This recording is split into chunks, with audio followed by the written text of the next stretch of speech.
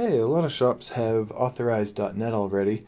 I want to show you how we just enabled recurring invoicing and it can automatically charge your customers on their credit card. So recurring credit card billing, it's ready to go. It's in production already. You just enable authorized.net and then you'll get a setting down here for authorized.net login and password. This is your API key. So get those both entered and updated and you should be ready to go. So now on the invoice payment forms you'll have a credit card option.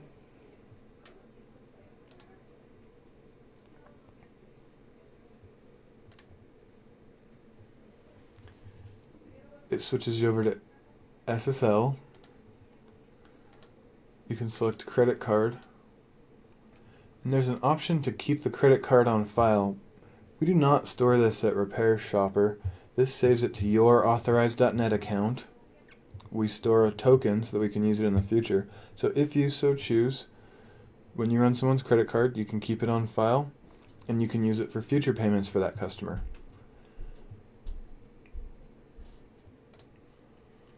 Let's say you've done that and you've got an invoice for a customer maybe this one that you want to charge to this person every single month. So you just head over to the admin section, recurring invoices, do a new schedule, give it a name,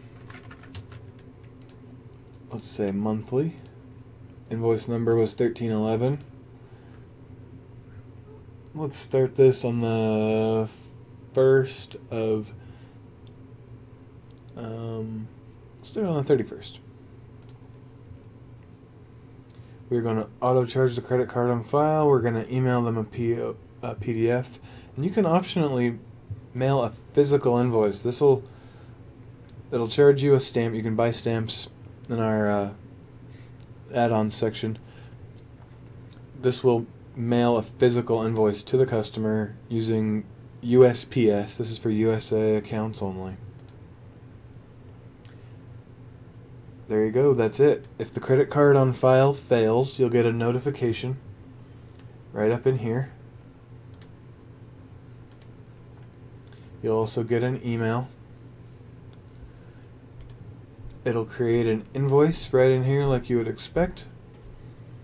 When you go to the customer screen, you'll see the invoice and the payment here. You'll also see stored credit cards pop in once you've got some stored credit cards that's how it's working today. Let me know if you play with it and need it to do something else. I hope you enjoy it.